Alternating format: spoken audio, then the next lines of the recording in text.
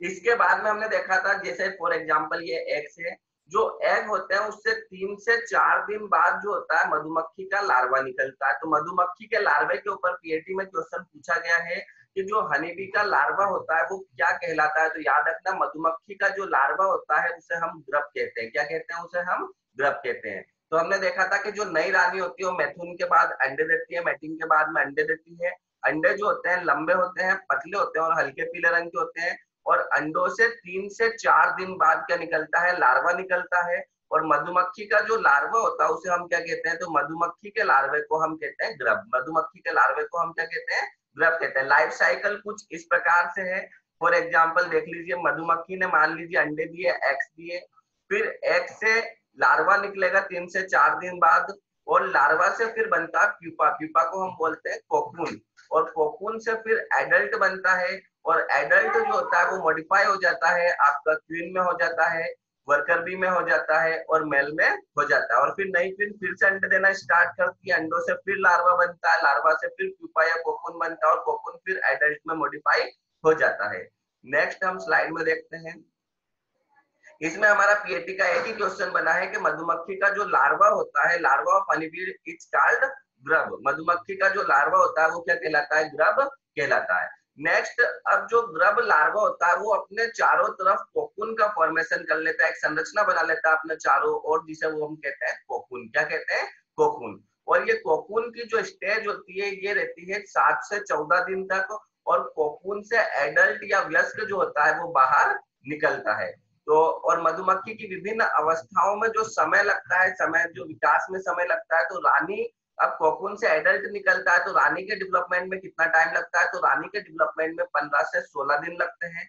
Worker bee के development में कितना टाइम लगता है तो उसके डेवलपमेंट में अठारह से बीस दिन लगते हैं। और जो मेल होते हैं, इनके डेवलपमेंट में कितना टाइम लगता है तो इनके डेवलपमेंट में चौबीस दिन लगते हैं। तो अभी तक हमने देखा नप्शियल फ़्लाइट के बाद में जो मधुमक्खी होती है, वो अंडे देना स्टार्ट करती है। अंडों से तीन से चार दिन बाद लार्वा निकलता है। लार्वे को हम क्या कहते हैं? ग्रब कहते हैं। तो इसके ऊपर पीएटी में प्रश्न पूछा गया है कि मधुमक्खी का जो लार्वा होता है वो कहलाता है। तो मधुमक्खी का लार्वा क्या कहलाता है? ग्रब कहलाता है। और ये ग्रब जो अवस्था होती है, सात से चौदह दिन तक रहती है। और ये ग्रब जो होता है, वो अपने चारों ओर क्या बना लेता है? कोकुन बना लेता है। और कोकुन वाली स्टेज सात से चौदह दिन तक होती है। सात से चौदह दिन बाद कोकुन से एडल्ट बाहर निकलता है, व्यस्त बाहर निकलता है। और जो एडल्ट होता है, वो अलग अलग स्टेजेस में मॉडिफाई हो जाता है, जैसे क्वीन में वर्कर बी में और मेल में। क्वीन बनने में कितना टाइम लगता है? तो क्वीन बनने में पंद्रह से सोलह दिन लगते हैं। वर्कर में कितना टाइम लगता है? अठारह से बीस दिन लगते हैं और मेल में कितना टाइम लगता है? बीस से चौबीस दिन लगते हैं। हमने देखा था जो क्वीन होती है, वो टू टाइप्स के एग्स देती है। एक तो वो फर्टिलाइज एग देती है और एक अनफर्टिलाइज देती है। फर्टिलाइज एग से तो क्वीन भी और वर्कर भी बनती है और अनफर्टिलाइज एग जो होते हैं, अनिश्चित अंडे जो होते हैं, उनसे नर मधुमक्खी बनती है। अब क्वीन और वर्कर भी दोनों ही फर्टिलाइज एग से बन रही है, लेकिन किस प्रकार से हम किसे बोल सकते हैं? अब फर्टिलाइज एग से वो वर्कर भी बन सकती है क्वीन भी बन सकती है तो डिसाइड कैसे होता है? तो ये डिसाइड किस प्रकार से होता है कि जो वर्कर भी होती है, इसकी सेलिबरी ग्लैंड से एक सिक्रेशन होता है, जिसको हम कहते हैं रॉयल जेली क्या कहते हैं? रॉयल जेली और रॉयल जेली इन दोनों मक्खियों में से जब ये छोटी अवस्था में होती है तो जिसे खाने को रॉयल जेली मिल जाती है, वो तो क्वीन बन जाती है। और जिसे खाने को रॉयल जेली नहीं मिलती है, वो कौन बन जाते हैं? श्रमिक बन जाते हैं। लाइफ साइकिल में हम फिर से रिवाइज कर लेते हैं। मधुमक्खी क्वीन भी जो होती है, वो क्या करती है? अंडे देती है। अंडों से मधुमक्खी का लार्वा निकलता है। मधुमक्खी के लार्वे को हम क्या कहते हैं? ग्रब कहते हैं। ग्रब जो होता है, अपने चारों ओर कोकून बना लेता है और कोकून फोड़ के बाहर कौन आता है तो एडल्ट आता है। फिर एडल्ट जो होते हैं, वो मॉडिफाई हो जाते हैं क्वीन में मॉडिफाई हो जाते हैं वर्कर भी में मॉडिफाई हो जाते हैं और मेल भी में मॉडिफाई हो जाते हैं। नेक्स्ट हम देखते हैं। अब हम बात करते हैं नेक्स्ट स्वार्मिंग की। मधुमक्खियों में स्वार्मिंग या माइग्रेशन, किसे कहते हैं? ये बहुत अच्छा टॉपिक है। मधुमक्खी में स्वार्मिंग किसे कल कुछ बच्चों ने क्वेश्चन पूछे थे तो वो इसमें जाकर क्लियर हो जाएँगे। तो मधुमक्खियों में वृंदन, प्रवास, स्वार्मिंग जैसे ही हम इंग्लिश में कहते हैं, माइग्रेशन या स्वार्मिंग। तो माइग्रेशन किसे कहते हैं तो जो रानी मक्खी होती है वो क्या करती है अपना पुराना छत्ता छोड़कर चली जाती है इसको हम कहते हैं स्वार्मिंग। क्या कहते हैं इसको हम? स्वार्मिंग। रानी मक्खी जो होती है वो अपनी पूरी की पूरी कॉलोनी के साथ में मतलब उसकी कॉलोनी में जितनी भी वर्कर भी थी सबके साथ में पुराना छत्ता जो होता है वो तो छोड़ देती है और चली जाती है और वर्कर भी जो होती है वो क्या करती है नई छत्ता बना लेते हैं। अब जो रानी मक्खी होती है क्वीन भी होती है ये अपना पुराना छत्ता छोड़कर जाती क्यों है तो वो बता देता हूँ मैं आपको। जो क्वीन भी होती है, वो क्या करती है, पुराने छत्ते में अंडे देती है। क्या देती है? अंडे देती है। तो वो अंडे देकर, छोड़कर चली जाती है। फिर जब वो अंडे फूटते हैं, पिप्ड होते हैं वो अंडे तो उनमें से फिर नई मक्खियाँ बनती है और उनमें नई रानी उत्पन्न हो जाती है। तो वो जो नया छत्ता छोड़ के जाती है, वो किसके लिए छोड़ के जाती है? नई आने वाली रानी के लिए छोड़कर जाती है। तो हम बोल सकते हैं कि माइग्रेशन किसे कहते हैं? तो मधुमक्खी द्वारा पुराने छत्ते को छोड़कर चला जाना क्या कहलाता है? माइग्रेशन कहलाता है। नेक्स्ट हम बात करते हैं, मधुमक्खी जो होती है, वो कौन से सीज़न में अंडे देती है? या कौन से मौसम में वो अंडे देती है? तो मधुमक्खी जो होती है, वो गर्मी में मतलब ग्रीष्म में समर सीज़न में तो वो नप्शल फ़्लाइट करती है और स्प्रिंग या विंटर सीज़न में वो क्या करती है? अंडे देती है। तो जो क्वीन भी होती है, वो समर सीज़न में नप्शल फ़्लाइट करती है। स्प्रिंग सीज़न में वो अंडे देती है और फिर वो नेक्स्ट क्या करती है, जो अंडे होते हैं, उनको छोड़कर वर्कर बी के साथ में चली जाती है और नया छत्ता बना लेती है। इसको हम क्या कहते हैं? स्वार्मिंग कहते हैं। फिर जो पुराना छत्ता था, उसमें क्या होता है? अंडे रखे हुए रहते हैं क्वीन बी द्वारा दिए हुए। वो अंडे फूटते हैं और उनसे फिर से नई कॉलोनी तैयार होती है। उसमें नई रानी आती है, नए मेल आते हैं और नए उसमें वर्कर भी आते हैं। तो इस प्रकार से हम कह सकते हैं कि मधुमक्खी में जो माइग्रेशन होता है, उसे किसे कहते हैं? माइग्रेशन तो हम बोल सकते हैं मधुमक्खी द्वारा पुराने छत्ते को छोड़कर चला जाना क्या कहलाता है? माइग्रेशन कहलाता है। और माइग्रेशन मधुमक्खियाँ कब करती है? तो माइग्रेशन जो होती है मधुमक्खियाँ वो कब करती है? तो माइग्रेशन वो करती है आपके विंटर सीज़न में या स्प्रिंग सीज़न में। और जो नप्शल फ़्लाइट होती है मधुमक्खियाँ वो कब करती है? तो वो समर सीज़न में करती है। तो अभी तक की आपने क्लास में क्या देखा? कि जो क्वीन भी होती है, वो क्या करती है? अंडे देती है। फिर जो अंडे होते हैं, उनसे लार्वा बनता है और मधुमक्खी का लार्वा क्या कहलाता है? तो मधुमक्खी का लार्वा कहलाता है ग्रब। ग्रब अपने चारों ओर फॉर्मेशन कर लेता है। किसका फॉर्मेशन कर लेता है? कोकून का फॉर्मेशन कर लेता है और कोकून स्टेज जो होती है, लगभग सात से चौदह दिन तक होती है। फिर कोकून से कौन बाहर निकलता है? कोकून से एडल्ट बाहर निकलता है। और जो एडल्ट होता है, वो रानी मक्खी में वर्कर बी में और मेल या ड्रोन में नरों में वो कन्वर्ट हो जाती है। इसके बाद में हमने देखा था कि माइग्रेशन किसे कहते हैं? तो रानी मक्खी द्वारा पुराने छत्ते को छोड़कर जाना क्या कहलाता है? माइग्रेशन कहलाता है। रानी मक्खी पुराने छत्ते में अंडे देती है और अपनी जितनी भी वर्कर भी, अपनी जितनी भी सेना है, पूरी सेना को लेकर उड़ जाती है और नए जगह अपना हैबिटेट या आवास बना लेती है और पुराने छत्तों में अंडे उसके रखे रहते हैं, सुरक्षित और फिर अंडों से नई कॉलोनी तैयार होती है, जिसमें नई वर्कर भी होती है, नए उसमें मैल होते हैं और नई उसमें क्वीन भी होती है। अब क्वेश्चन पीएटी में आया कि मधुमक्खियाँ जो माइग्रेशन करती है, वो कब करती है? तो मधुमक्खियाँ जो होती है माइग्रेशन करती है विंटर सीज़न में और स्प्रिंग सीज़न में। और नक्सल फ़्लाइट कब करती है? तो ये करती है वो समर सीज़न में। नेक्स्ट हम देखते हैं अब ये बहुत ही इंटरेस्टिंग है तो हमने मधुमक्खियों में माइग्रेशन देख लिया, मधुमक्खी की लाइफ साइकिल देख लिया ये बहुत ही इंटरेस्टिंग फैक्ट है, सूचना संप्रेषण कन्वर्सेशन कन्वर्सेशन क्या होता है? जिस प्रकार से हम मनुष्य आपस में बातें करते हैं, उसी प्रकार से, ठीक उसी प्रकार से मधुमक्खियाँ भी आपस में एक दूसरे से क्या करती है? कन्वर्सेशन करती है, एक दूसरे से बात करती है, और जिस प्रकार से हमारी बात करने की एक बॉडी लैंग्वेज होती है, उसी प्रकार से मधुमक्खियों की भी आपस में कन्वर्सेशन करने की बॉडी लैंग्वेज होती है और इसकी डिस्कवरी किसने की थी? तो इसकी डिस्कवरी की थी कॉल्ड वन फ्रिस ने और इसके लिए इन्हें 1967 में नोबेल प्राइज भी मिला था। तो मधुमक्खियाँ क्या करती है? आपस में एक दूसरे को सूचना देती है, जिसको हम सूचना संप्रेषण या कन्वर्सेशन बोलते हैं। अब मधुमक्खी जो सूचना देती है, वो कैसे देती है? तो मधुमक्खी जो होती है, वो विशेष प्रकार का डांस करती है। स्पेशल टाइप का वो क्या करती है? डांस करती है। सुनने में बहुत इंटरेस्टिंग लग रहा होगा कि मधुमक्खी एक दूसरे को डांस करके क्या करती है? हिंट देती है है ना? तो डांस करके हिंट देती है, इसके अलावा वो क्या करती है? साउंड प्रोड्यूस करती है। आपने नॉर्मली मधुमक्खियों का साउंड भी सुना होगा भिन भिन करके आवाज़ आती है। तो मधुमक्खियाँ जो होती है, वो साउंड प्रोड्यूस करती है और साउंड के साथ में वो क्या करती है? डांस करती है। और जब वो डांस दूसरी मक्खियाँ देखती है तो उनको उससे क्या मिल जाती है? सूचना मिल जाती है। एक दूसरे से वो इस प्रकार से कन्वर्सेशन करती है। और इसकी जो डिस्कवरी की थी, वो किसने की थी? तो वो की थी कॉल्बॉन क्रिस ने तो मधुमक्खी जो डांस करती है, वो कितने टाइप का डांस करती है? तो मधुमक्खी दो प्रकार का डांस करती है टू टाइप्स का वो डांस करती है। पहला तो आता है राउंड डांस जिसे हम गोल नृत्य कहते हैं, और दूसरा आता है टेल बैकिंग या दुम दोलनी दुम दोलनी नृत्य। तो राउंड डांस की बात करें, यदि भोजन का स्रोत उनका जो सोर्स है फ़ूड का, वो 75 मीटर के अंदर है तो मधुमक्खी इस प्रकार से राउंड डांस करेंगी। इस प्रकार से वो गोल गोल घूमेगी, जैसे कर्सर घूम रहा है। यदि भोजन पिछहत्तर मीटर के अंदर है तो वो राउंड डांस करेंगी। और भोजन यदि पिछहत्तर मीटर से अधिक है मतलब बहुत ज़्यादा दूर है पिछहत्तर मीटर से ज़्यादा दूर है तो मधुमक्खियाँ पूरा राउंड डांस ना करेगी, सिर्फ़ अपनी वो क्या करेगी, जो उनकी दुम होती है टैल होती है, पूछ होती है, जिसे हम डंक कहते हैं, उसे वो क्या करेंगी, उसे हिलाएँगी। तो हम बोल सकते हैं, इस प्रकार से मधुमक्खी सूचना करती है। तो एक तरीके से हम पिक्चर के हिसाब से इसको देख लेते हैं। आप इमेजिन कीजिए कि एक मधुमक्खी का कहीं पर छत्ता है एक कोई सी वर्कर भी थी, उसे पता चला है कि यहाँ से पिछहत्तर मीटर से दूर जो है वो क्या है, फ़ूड का सोर्स है। तो वर्कर भी कहीं से फ़ूड का सोर्स उसने ढूंढ लिया कि उस बगीचे में मुझे अच्छे सूरजमुखी के फूल मिल जाएँगे, अंगूर की लताएँ मिल जाएँगी ग्रेप्स मिल जाएँगे। तो उसे वर्कर भी को पता चल गया और एक वर्कर भी जो है, वो आ गई है सारी मधुमक्खियों के पास में और उनके साथ में इस प्रकार से वो क्या करने लग गई गोल गोल घूमने लग गई। तो छत्ते में या उनके घर में जितनी भी मधुमक्खियाँ होंगी, उन सबको पता चल जाएगा कि इसे कहीं ना कहीं पर फ़ूड का सोर्स मिल गया है। इसलिए ये क्या कर रही है? गोल गोल हमारे सामने चक्कर लगा रही है। मतलब हम बोल सकते हैं कि गोल गोल वो क्या कर रही है? डांस कर रही है। अब उसका जो डांस करने का तरीका होगा, उससे उन्हें ये भी पता चल जाएगा कि जो फ़ूड का सोर्स है, भोजन का स्रोत है, वो कितना दूर है। यदि वो उनके सामने गोल गोल घूम रही है तो बोल सकते हैं कि पिछहत्तर मीटर से पिछहत्तर मीटर के आसपास ही है। और यदि वो सिर्फ़ दुम हिला रही है, ऐसे नॉर्मली दुम हिला रही है तो उनको अंदाज़ा लग जाएगा कि जो भोजन है वो कितना दूर है तो पिछहत्तर मीटर से अधिक है। तो इसमें पीएटी में जो क्वेश्चन आता है, वो सिंपल से आता है कि मधुमक्खी एक दूसरे को सूचनाएँ देती है या एक दूसरे से कन्वर्सेशन करती है तो वो किसके द्वारा करती है? तो वो डांस के द्वारा करती है। किसके द्वारा करती है? डांस के द्वारा।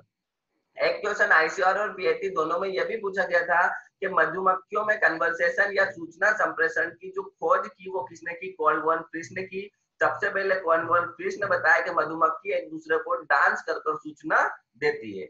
नेक्स्ट हम देखते हैं स्लाइड अब हम मधुमक्खियों के आर्थिक महत्व देखते हैं इकोनॉमिक इंपोर्टेंस देखते हैं हनी बीज के।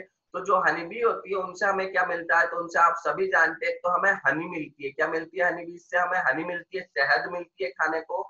इसके साथ ही हनी बी से हमें क्या मिलता है? वैक्स मिलता है, मोम मिलता है। तो इसका इकोनॉमिक इंपोर्टेंस क्या हो गया? हम एपिकल्चर क्यों पढ़ रहे हैं? तो क्यों पढ़ रहे हैं हम? क्योंकि हनी बी से हमें मिलता है, क्या मिलता है? हनी एंड वैक्स दूसरा जो पॉइंट है, इससे पीएटी में पूछा गया है कि जो शहद होता है हनी होता है, इसमें सबसे ज़्यादा कौन सी शर्करा पाई जाती है? चार ऑप्शन किए थे ग्लूकोज और फ्रक्टोज ग्लूकोज और लैक्टोज माल्टोज सुक्रोज तो याद रखना मधुमक्खी का जो शहद होता है, उसमें जो सबसे ज़्यादा शर्करा पाई जाती है शुगर पाई जाती है, वो कौन सी पाई जाती है तो वो पाई जाती है ग्लूकोज और फ्रक्टोज 79 परसेंट शुगर पाई जाती है हनी में, जिसमें से 38 परसेंट फ्रक्टोज होता है 31 परसेंट ग्लूकोज होता है, और रिमेनिंग 10 परसेंट जो होता है, वो अदर शुगर्स होती है, जैसे सुक्रोज माल्टोज एटसेट्रा लेकिन आपसे पूछे शुगर में भी कौन सी शुगर सबसे ज़्यादा पाई जाती है? तो सबसे ज़्यादा कौन सी पाई जाती है? फ्रक्टोज पाई जाती है। और पीएटी के ऑप्शन में था ग्लूकोज और फ्रक्टोज तो याद रखना, जो हनी है, उसमें ग्लूकोज और फ्रक्टोज जो होती है, बहुत ही अच्छी मात्रा में पाई जाती है। इसके अलावा 16 सत्रह, सोलह से सत्रह प्रतिशत इसमें वाटर होता है, जल होता है मॉइस्चर होता है। छह परसेंट इसमें एंजाइम होते हैं और टू परसेंट के लगभग इसमें पिगमेंट या कलर्स होते हैं। और रिमेनिंग क्वांटिटी में माइनर क्वांटिटी में विटामिन मिनरल्स एटसेट्रा होते हैं। तो इकोनॉमिक इम्पोर्टेंस क्या होगा हमारे हनी के हनी के हनी भी के हमारे इकोनॉमिक इम्पोर्टेंस हो गए हैं। एक तो इससे हमें हनी और वैक्स मिल जाता है। दूसरा जो हनी होता है, इसमें शुगर पाई जाती है और सबसे ज़्यादा कौन सी शुगर पाई जाती है? तो ग्लूकोज और फ्रक्टोज पाई जाती है। नेक्स्ट हनी का हमारा जो इकोनॉमिक इम्पोर्टेंस है, वो ये है कि इसकी मेडिसिनल प्रॉपर्टीज़ बहुत अच्छी होती है। आपने मार्केट में देखा होगा कि बहुत सारे ब्रांड आते हैं हनी के, जैसे डाबर आता है पतंजलि आता है जंडू आता है, ऐसे बहुत सारे हनी के क्या आते हैं ब्रांड आते हैं। तो इसकी मेडिसिनल प्रॉपर्टी हम बोल सकते हैं, औषधि गुण इसमें बहुत अच्छे होते हैं इम्यूनिटी हनी हनी का यदि हम डेली यूज़ करते हैं तो इम्यूनिटी बढ़ती है। और भी बहुत सारी जो डिसीजेस होती है, उनको क्योर करने में हनी काम आती है। आयुर्वेद में इसका बहुत ही ज़्यादा महत्व इम्पोर्टेंस है। इसके अलावा जो हनी होती है हनी बी की यदि हम रियरिंग करते हैं तो उससे हमें वैक्स मिलता है। वैक्स से हम कैंडल बना सकते हैं, मोमबत्तियाँ बना सकते हैं पॉलिश बना सकते हैं और विभिन्न प्रकार के जो कॉस्मेटिक्स आते हैं, जो सौंदर्य प्रसाधन से संबंधित वस्तु आती है कॉस्मेटिक्स आते हैं, उनमें हनी का यूज़ होता है। नेक्स्ट जो हनी हनीबी का विष होता है, आपने सुना होगा कि यदि किसी को मधुमक्खी काट लेती है तो उसको बुखार वगैरह जो होता है, वो कम आता है। तो जो हनीबी का जो पॉइजन होता है, जो विष होता है, उसमें एंटीबायोटिक प्रॉपर्टीज़ होती है। एंटीबायोटिक मतलब ये हमें बैक्टीरिया या माइक्रो ऑर्गेनिज्म से क्या करती है? प्रिवेंट करती है, बचाकर रखती है। तो जो हनीबी का जो पॉइजन होता है, उसमें कौन सी प्रॉपर्टीज़ होती है? तो एंटीबायोटिक प्रॉपर्टीज़ होती है। तो कभी भी आपको यदि कोई सी मधुमक्खी काट ले तो आप मन में दुखी मत होना, है ना? थोड़ा सा मन में आप खुश होना कि उसका जो पॉइजन होता है, उसमें कौन सी प्रॉपर्टीज़ होती है? एंटीबायोटिक प्रॉपर्टीज़ होती है, जिससे विभिन्न प्रकार की जो डिसीजेस होती है वेरियस टाइप्स की जो डिसीजेस होती है, उनसे हमारी प्रोटेक्ट होती है। इसके अलावा इसके पॉइजन से विभिन्न रोगों का इलाज होता है, विभिन्न डिसीजेस को इससे क्यूर कर सकते हैं, जैसे डिप्थेरिया गटिया ट्यूबर और यूरेथ्रा वगैरह में जलन। नेक्स्ट मधुमक्खी का एक और बहुत ही इंपॉर्टेंट पॉइंट है, ये भी पीएटी में पूछा गया है कि फ़सलों में जो अधिकतर परागण होता है, फ़सलों में जो मैक्सिमम पोलिनेशन होता है, जो हनी भी होती है, वो पोलिनेटिंग एजेंट होती है, जो फ़सलें होती है हमारी, उसमें मैक्सिमम जो पोलिनेशन करती है वो कौन करती है? हनी भी करती है। कुल परागण का नब्बे प्रतिशत परागण जो होता है, वो कौन करती है? मधुमक्खियाँ करती है। तो सबसे हमारा एग्रीकल्चर में सबसे अच्छा यूज़ ये है, हनी बी की, यदि हम रियरिंग कर रहे हैं तो पोलिनेशन जो होता है क्रॉप्स में, वो 90 परसेंट कौन करती है? हनी बी करती है। और पोलिनेशन के अलग अलग टाइप्स होते हैं, जिसमें यदि पोलिनेशन इंसेक्ट से होता है, कीटों से होता है तो उसको हम एंटमोफिली कहते हैं। क्या कहते हैं? एंटमोफिली और एंटमोफिली में सबसे ज़्यादा जो पोलिनेशन करती है, वो कौन करती है? हनी भी करती है। तो हनी भी के इकोनॉमिक इम्पोर्टेंस हमने क्या क्या देखे एक तो इससे हमें हनी और वैक्स मिल जाता है। दूसरा, हमारी जो फ़सल है, उसमें यह पोलिनेटिंग एजेंट का काम करती है पोलिनेशन का काम करती है। हनी की और हनी के पॉइजन की बहुत ही अच्छी हनी बी के पॉइजन की बहुत ही अच्छी मेडिसिनल प्रॉपर्टीज़ होती है। बैग से हम कैंडल पॉलिश और जो हनी होती है, उससे हम कॉस्मेटिक्स बना सकते हैं। इसके अलावा पीएटी में पूछा गया कि जो हनी होती है, वो अच्छा सोर्स होती है तो कौन सी इसमें शुगर पाई जाती है? तो इसमें शुगर पाई जाती है सबसे ज़्यादा ग्लूकोज और फ्रक्टोज नेक्स्ट हम देखते हैं। अब हम हनी बी के एनिमीज की बात करते हैं, इसके शत्रुओं की बात करते हैं तो इसमें कौन कौन से कीट लगते हैं या कौन कौन से इसमें इंसेक्ट लगते हैं पेस्ट लगते हैं तो हनी जो होता है इसमें पेस्ट कौन कौन से लगते हैं? तो एक करके लग, लगता है इसको हम बोलते हैं मधु डाकू यानी कि जो हनी होती है उसको ये क्या करता है? खा जाता है। तो कहीं पर यदि मधुमक्खी का छत्ता है पेड़ वगैरह पर तो वहाँ पर एक्रेंसिया इंसेक्ट का अटैक हो जाता है और ये क्या करता है? सेहत को खाता है। एक जो इसमें इंसेक्ट लगता है वो वैक्समोथ लगता है। वैक्समोथ क्या करता है? जो हनीबी का फोम होता है छत्ता होता है वो मोम का बना होता है। और वैक्समोथ जो होता है वो मोम को खाता है। और नेक्स्ट इसमें चीटिया, हमें पता ही है नॉर्मल जहाँ पर भी मीठा होता है, वहाँ पर चीटिया हो जाती है। तो हनी बी के इंसेक्ट या पेस्ट कौन कौन से आएँगे? तो एक्रेंसिया वैक्समोथ और आंस एक्रेंसिया जो होता है वो हनी को फ़ीड करता है। वैक्समोथ जो होता है वो वैक्स को फ़ीड करता है और आंट नॉर्मली हमने देख रखी है। तो हनी बी के इंसेक्ट कौन कौन से हो गए? तो पेस्ट की यदि बात करें तो एक्रेंसिया वैक्समोथ और आंस अब हम हनीबी में लगने वाले हनीबी जो होती है, इसमें लगने वाले रोगों की बात करते हैं डिसीजेस की बात करते हैं तो एक डिसीज होती है, इसमें एकेरिन कौन सी डिसीज होती है? एकेरिन और इसका जो क्या बोलते हैं ये किसके द्वारा फैलती है? तो ये स्पाइडर या मकड़ियों के द्वारा फैलती है। दूसरी जो हनीबी में डिसीज होती है, वो नौसेमा होती है। और नौसेमा हम बोल सकते हैं प्रोटोजुअल डिसीज है मतलब प्रोटोजुआ से होने वाली डिसीज है। और कौन से प्रोटोजुआ से होती है? तो ये नोसेमा एपिस प्रोटोजुआ से होती है। तो डिसीज का नाम तो नोसेमा और एपिस मधुमक्खी के नाम में लगता है। तो इस प्रकार से आप याद रख लीजिएगा नोसेमा एपिस। तो मधुमक्खी या हनीबी में डिसीज कौन कौन सी लगती है? तो एकेरिन लगती है, नोसेमा लगती है। इसके अलावा कई बार पैरालाइसिस हो जाता है और ये बहुत ज़्यादा घातक होता है। पैरालाइसिस में क्या होता है? नॉर्मल हमने इंसान में भी देखा, यदि पैरालाइज हो जाता है तो क्या होता है? वो वाला जो ऑर्गन होता है पर्टिकुलर ऑर्गन जो होता है, वो काम करना क्या कर देता है? बंद कर देता है। फॉर एग्ज़ाम्पल यदि किसी इंसान को हाथ में पैरालाइज हो गया है तो उसका हाथ काम करना बंद कर देगा। पैर में हो गया, या आधी बॉडी में हो गया तो उसकी आधी बॉडी जो होगी, वो काम करना बंद कर देगी। तो पैरालाइसिस हो जाता है इसमें, और ये वायरल डिसीज है, इसमें मधुमक्खी जो होती है, वो उड़ नहीं पाती और नीचे गिर जाती है। एक तरीके से हम बोल सकते हैं कि मधुमक्खी की इसमें डेथ हो जाती है। इसके अलावा डिसेंट्री वगैरह होती है, जो कि अमेबिया के थ्रू होती है। तो मधुमक्खी के जो एनिमी है, वो कौन कौन से है? तो वो एक्रेंसिया है वैक्समोथ है आंट्स है, और डिसीज कौन कौन सी है? तो एकेरिन नोसेमा पैरालाइसिस और डिसेंट्री नोसेमा जो होती है, ये इंपॉर्टेंट है। एकेरिन और नोसेमा नोसेमा जो है, वो प्रोटोजोअल डिसीज है, और कौन सा प्रोटोजोआ से होती है? तो वो नोसेमा एपिस नाम के प्रोटोजोआ से होती है। तो अभी तक की क्लास में हमने हनी बी की लाइफ साइकिल देखी क्वीन बी जो होती है वो अंडे देती है। अंडों से क्या निकलता है? लार्वा निकलता है। मधुमक्खी के लार्वा को हम क्या कहते हैं? तो मधुमक्खी के लार्वा को हम ग्रब कहते हैं। ये लार्वा अपने चारों ओर कोकून या प्यूपा बना लेता है और प्यूपा से एडल्ट निकलता है। फिर वो एडल्ट अलग अलग उसमें मॉडिफाई हो जाते हैं क्वीन बी में वर्कर बी में और मेल बी में। इसके बाद में हमने देखा था इसमें, हमारी स्लाइड में हमने देखा था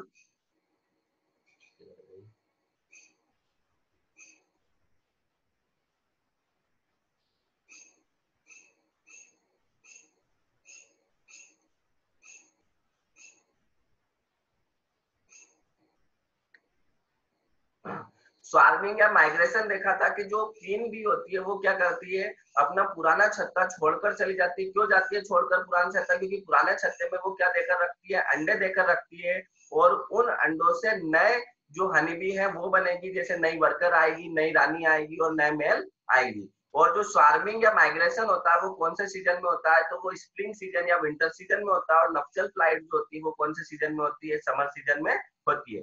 फिर हमने देखा था मधुमक्खी आपस में एक दूसरे से कन्वर्सेशन करती है, एक दूसरे को सूचनाएँ देती है इंफॉर्मेशन देती है। तो मधुमक्खियाँ जो सूचनाएँ देती है, वो किसके थ्रू देती है? तो वो डांस के थ्रू देती है। मैंने आपको बताया था, कोई वर्कर भी को यदि भोजन का पता चलता है तो वो आती है अपने छत्ते के पास में और जो दूसरी मधुमक्खियाँ होती है, दूसरी वर्कर भी होती है, उनके सामने वो क्या करने लग जाती है? डांस करने लग जाती है। यदि वो गोल गोल घूम रही है, इसका मतलब ये है कि फ़ूड सोर्स जो है, वो पिछहत्तर मीटर के अंदर है और यदि वो सिर्फ़ अपने दूम या पूछ हिला रही है, इसका मतलब है कि जो फ़ूड का सोर्स है, वो पिछहत्तर मीटर से दूर है। तो इस प्रकार से मधुमक्खियाँ एक दूसरे को जो भोजन की सूचना देती है, वो किसके थ्रू देती है? डांस के थ्रू देती है। इसके बाद में नेक्स्ट हम देखा था, जो हनी भी एपिकल्चर है, इसके क्या इकोनॉमिक इंपोर्टेंस है तो इससे हमें वैक्स मिल जाता है, मोम मिल जाता है हनी में सबसे ज़्यादा कौन सी शुगर होती है? तो ग्लूकोज और फ्रक्टोज होती है। वाटर कितना परसेंट होता है? सेवनटीन परसेंट होता है। इसकी बहुत ही अच्छी मेडिसिनल प्रॉपर्टीज़ होती है। वैक्स हम कैंडल पॉलिश कॉस्मेटिक्स बना सकते हैं। एंटीबायोटिक प्रॉपर्टीज़ होती है इसके पॉइजन में। और हनी बी वाला ये पॉइंट तो बहुत ही ज़्यादा इंपॉर्टेंट है कि फ़सलों में अधिकांश फ़सलों में जो परागण होता है, वो किसके थ्रू होता है? तो परागण जो होता है, वो हनी बी के थ्रू होता है। तो क्रॉस पोलिनेशन की यदि बात करें तो कुछ फ़सलें ऐसी होती है जिनमें क्रॉस पोलिनेशन होता है उसमें जो हनी बी होती है बहुत ही अच्छा पोलिनेटिंग एजेंट होती है। नेक्स्ट हमने इसके एनिमीज की बात की थी, जिसमें हमें सिर्फ़ इनके ज़्यादा डिटेल नहीं करना है, सिर्फ़ इनके नाम ध्यान रखना है और आंट और इसमें डिसीज की बात की तो एक्रेन नोसेमा पेरालाइसिस और डिसेंट्री नेक्स्ट हमने, अब हम देखते हैं की पॉइंट हमारा जो मधुमक्खी वाला टॉपिक है, आज खत्म होता है। अब इसके हम महत्वपूर्ण बिंदु या की पॉइंट देखते हैं। जो अधिकतर पीएटी में पूछे गए। तो मधुमक्खी एक सामाजिक प्राणी है मतलब हम बोल सकते हैं, हनीबी जो है वो कैसा इंसेक्ट है सोशल इंसेक्ट है मतलब इसकी कॉलोनी में अलग अलग प्रकार के कामों को करने के लिए लेबर डिवीज़न या श्रम विभाजन पाया जाता है। तो मधुमक्खी जो होती है वो बहुरूपता दर्शाती है और कार्यात्मक श्रम विभाजन को दर्शाती है। मतलब हम बोल सकते हैं, हनीबी सोच पॉलीमॉर्फिज्म पॉलीमॉर्फिज्म मतलब होता है बहुरूपता। बहुरूपता का मतलब ये होता है कि इसमें जो इंसेक्ट होता है, वो अलग अलग टाइप का होता है। जैसे क्वीन भी अलग टाइप से होती है वर्कर भी अलग टाइप से होती है, और जो मेल होते हैं, वो तो डेफिनेटली अलग ही होंगे। इसके अलावा इनमें क्या होता है लेबर डिवीज़न होता है मतलब श्रम विभाजन होता है। क्वीन का काम अलग होता है वर्कर का काम अलग होता है, और मेल का काम अलग होता है। नेक्स्ट क्वेश्चन ये भी पूछा गया पीएटी में कि जो हनीबी होते हैं, उसमें माउथ पार्ट या मुखांग कैसे पाए जाते हैं? तो याद रखना, जो हनीबी के मुखांग होते हैं, वो चबाने और चाटने वाले होते हैं। चबाती वो किसको? वैक्स को चबा चबा के वो मुलायम करती है और चाटती किसको? रॉयल जेली को चाटती है, हनी को चाटती है। तो जो हम बोल सकते हैं च्विंग एंड लैपिंग टाइप इसका माउथ पॉड्स होते हैं, हनी के। इसके अलावा, हनी बी कौन से पदार्थ से छत्ते की मरम्मत करती है मेंटेनेंस करती है हनीकॉम का, वो किस मेटल से करती है तो वो प्रोपोलिस नाम के पदार्थ से अपने छत्ते की मरम्मत करती है। नेक्स्ट हम बात करते हैं मधुमक्खी में मेटामॉर्फिज्म मेटामॉर्फिज्म मतलब कायांतरण किस प्रकार का पाया जाता है? तो मेटामॉर्फिज्म जो पाया जाता है, इसके ऊपर मैं डिटेल में वीडियो बनाऊँगा. मेटामॉर्फिज्म जो होती है, चार स्टेज होती है. पहला होता है एग फिर होता है नीम लार्वा फिर होता है नीम और फिर होता है एडल्ट तो ये चारों स्टेज जो होती है, वो हनीबी की लाइफ साइकिल में पाई जाती है. इसलिए हम बोल सकते हैं कि इसमें कंप्लीट मेटामॉर्फिज्म पाया जाता है. नेक्स्ट हनीबी में हमने देखा था ये इंसेक्टा क्लास में आती है और इंसेक्टा जो क्लास होती है, उसमें थ्री पेयर लेग्स होते हैं, तीन जोड़ी टांगे होती है। पहले जो जोड़ी टांगे होती है, उसको हम बोलते हैं प्रोथोथेरेसिक लेग्स दूसरी जो होती है, उसको हम बोलते हैं मिजोथोरेसिक लेग्स और तीसरी जोड़ी जो टांगे होती है, उसको हम बोलते हैं मेटाथोरेसिक लेग्स तो पहली जोड़ी जो टांगे होती है, अर्थात प्रोटोथेरेसिक जो लेग्स होते हैं, इस पर एंटीना कॉम पाए जाते हैं। ये एंटीना कॉम मतलब इसमें ब्रश पाए जाते हैं और ये ब्रश क्या करते हैं? जब भी मधुमक्खी, मान लीजिए, किसी फ्लावर के ऊपर जाकर बैठती है तो उसके जो पोलेंग्रेंस होते हैं, वो उसके पैर से चिपक जाते हैं। तो जो उसके प्रोथोथेरेस्टिक लेग्स होते हैं, वो क्या करते हैं? उस पर ब्रश पाए जाते हैं। तो जब वो उड़ती है तो उन ब्रश से जो पोलेंग्रेंस उसके ऊपर चिपक जाते हैं, वो नीचे गिर जाते हैं। तो प्रोटोथेरेस्टिक लेग्स पर क्या पाए जाते हैं? एंटीना कॉम पाए जाते हैं और ये एंटीना कॉम क्या करते हैं? जो पोलेंग्रेन से हनीबी से चिपक जाते हैं, उसको छुड़ाने का काम करते हैं। नेक्स्ट हमने देखा था कि जो रानी मक्खी होती है, वो मैटिंग हवा में करती है और जो मेल होते हैं, वो रानी की ओर अट्रैक्ट होते हैं। तो वो अट्रैक्ट किस हार्मोन से होते हैं? तो वो अट्रैक्ट होते हैं फेरोमोन हार्मोन से। रानी मक्खी जो होती है, वो फेरोमोन हार्मोन का सिक्रेशन करती है। क्वीन सिक्रेट फेरोमोन रानी मक्खी जो होती है, वो फेरोमोन हार्मोन का सिक्रेट करती है। और फेरेमोन हार्मोन की जब गंध मेल के पास में जाती है तो वो मेल जो होते हैं, वो क्वीन से अट्रैक्ट होते हैं और क्वीन के पास में आ जाते हैं। अब ये फेरेमोन हार्मोन जो रानी सिक्रेट करती है क्वीन सिक्रेट करती है, वो कौन सी ग्लैंड से होता है? तो वो मैंडिबुलर ग्लैंड से होता है। नेक्स्ट हमने देखा था कि जो द्वितीय जोड़ी पैर होते हैं सेकंड पैर लेग्स होते हैं, उसे हम मिजोथोरेसिक लेग्स कहते हैं और इनमें पोलन ब्रश पाए जाते हैं। और जो मेटाथोरेसिक या तृतीय जोड़ी पेड़ होते हैं, इनमें क्या पाई जाती है? पोलन बास्केट पाई जाती है। और ये दोनों के दोनों जो इसके अपेंजेजेस हैं, वो पोलन ग्रेन्स को कलेक्ट करने में क्या करते हैं? हेल्प करते हैं। तो एक और बार इसको थोड़ा सा समझते हैं।